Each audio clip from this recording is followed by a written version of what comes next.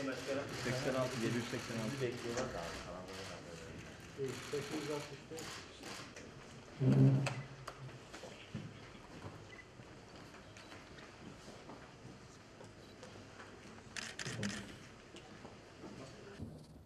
Türkiye Odalar ve Borsa Birliği Yönetim Kurulu ve Kayseri ili odaları ve borsaları olarak bugün karşınızdayız.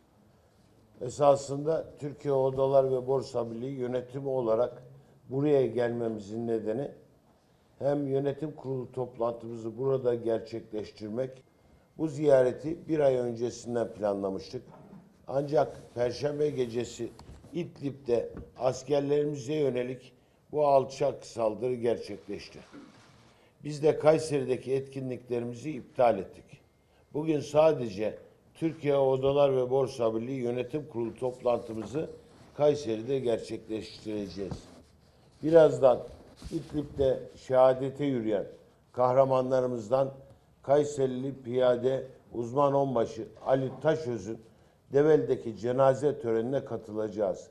Ailesinin ve yakınlarının acısını orada paylaşacağız. Vatanın huzuru ve güvenliğini müdafaa etmek için şehit olan tüm kahraman askerlerimizin ruhları şad olsun.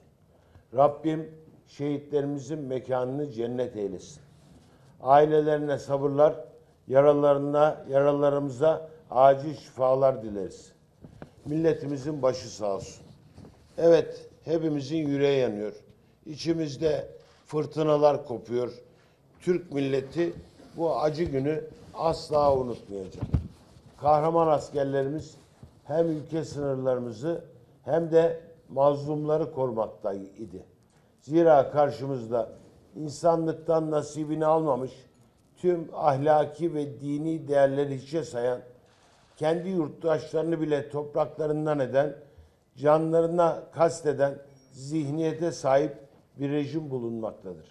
Dolayısıyla masum insanları katleden ve ülkemizin güvenliğini de açık tehdit oluşturan bu rejim unsurlarına karşı sessiz kalmamız beklenemez.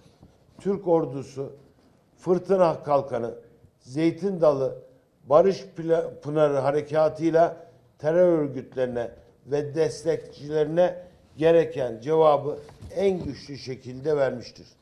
Elbette bu acımasız saldırının sahipleri de bunun bedelini fazlasıyla ödeyecek, hak ettikleri cezayı misliyle alacaktır ve almaya da başlamıştır. Şunu da herkes bilsin ki biz her türlü zorluğu aşmasını bilen bir milletiz.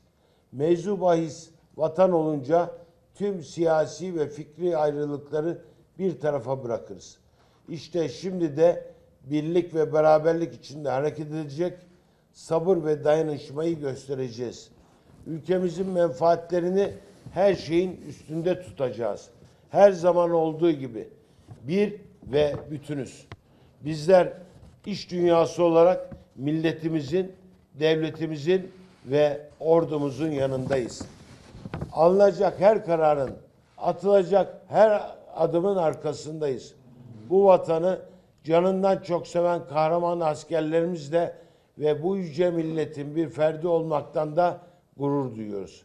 Cenab-ı Hak ülkemizi korusun, milletimizin birliğini ve dirliğini muhafaza eylesin. Ordumuzu muzaffer kılsın. Şimdi değerli basın mensupları, değerli arkadaşlarım gelin hep birlikte şehitlerimiz için birer Fatiha okuyalım.